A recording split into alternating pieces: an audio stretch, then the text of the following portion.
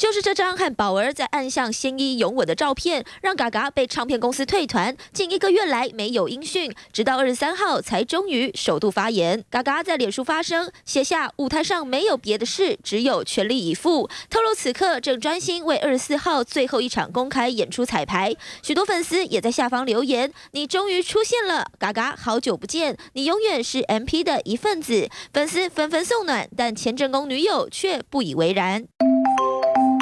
美食布洛克金熙开心品尝美食，却也再度爆料，嘎嘎对他纠缠不断。破文写着，还没清醒就接了莫名其妙的电话，劈头被问昨天是不是喝酒，跟别人怎样，想说算了，结果昨天说暗道还打第二通，主题趴办什么穿什么有没有肉，跟你有什么关系？说我想红，那一开始根本不需要打马赛克，说我装可怜，还寄信叫我不要吃药，假关心什么？金熙最后还怒呛，不知悔改，终于如你所愿，不用被跟，可以完美了。你真的把我逼疯，有种就出来面对，看事实真相是什么。够了没有？